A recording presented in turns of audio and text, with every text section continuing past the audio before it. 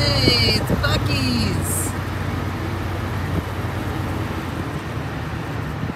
I got gas at stall number 756. Let's see what's the highest number. I don't know. It's got the Texas Star on it. This is a Texas company. They got Kawachi here now too, so it's not just gonna be a Texas thing anymore. Alright, that's pump number 60. Mm-hmm. pump number 60.